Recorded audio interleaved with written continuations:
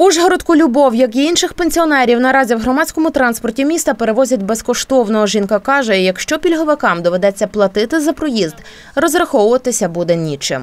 Бо якщо старикам з пересадками, откуда візьмеш 2600 пенсії на поїздки?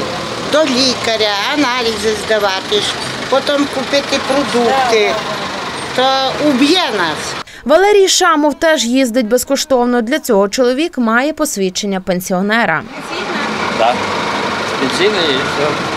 В Ужгороді цих та інших пенсіонерів із кінця червня, початку липня можуть перестати возити безкоштовно. Це стосується не лише їх, а й людей з інвалідністю, членів багатодітних сімей, учасників бойових дій та інших пільговиків, які наразі їздять безоплатно, каже голова асоціації перевізників міста Олексій Куля. Він розповів, це хочуть запровадити на всіх маршрутах, де працюють приватні перевізники, бо вартість таких поїздок їм не докомпенсовує міськрада. На сьогоднішній день міськрада боргує за пільгові перевезення майже за три місяці цього року. Ну на кожне підприємство це десь е, більше 300 тисяч гривень. Загалом за попередні роки, якщо все сумувати, то міськрада боргує біля 30 мільйонів гривень. Починаючи з 2018 року, у нас е, на сьогоднішній день заборгованості по зарплаті, заборгованості по податкам і заборгованості по паливу. У нас в Ужгороді вже 42 тисячі населення із 116, які є в Ужгороді, мають право безкоштовного проїзду. Ну, якщо для пасажира цей проїзд безкоштовний, то для перевізника потрібен якийсь ресурс, щоб е, здійснювати ці перевезення. Тобто він не є безкоштовний для нас. На жаль, на цей рік бюджетом із тих е, програм, яку був подав департамент соціального захисту, ці кошти вже закінчилися.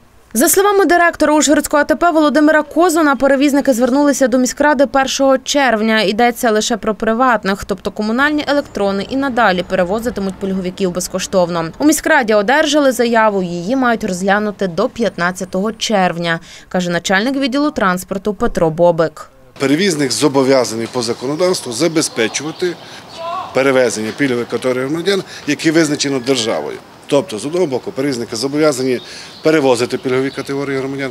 Ми зобов'язані дати компенсацію, але під це не завжди є ресурс.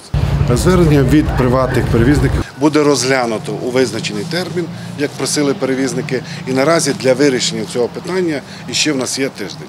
Цьогоріч в Ужгороді на пільгові перевезення передбачено 16 мільйонів гривень, розповіла начальниця відділу обліку отримувачів пільг Світлана Безпечна. Їх розподіляють поступово між чотирма перевізниками, трьома приватними і комунальним. Понад 6 мільйонів ми вже виплатили. Ну, до кінця року ще 10 мільйонів нам мають довитягнути. Коли гроші прийдуть з бюджету, вона буде розподілена між перевізниками до кінця року. Е, На період літніх канікул і на період вихідних днів ми їх не рахуємо у пільгові перевезення. Це рішення виконкому.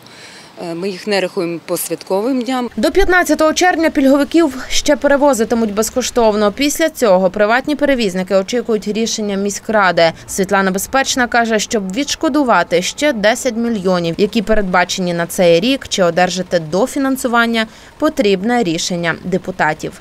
Андріана Курта, Іван Шемко. Новини на Суспільному.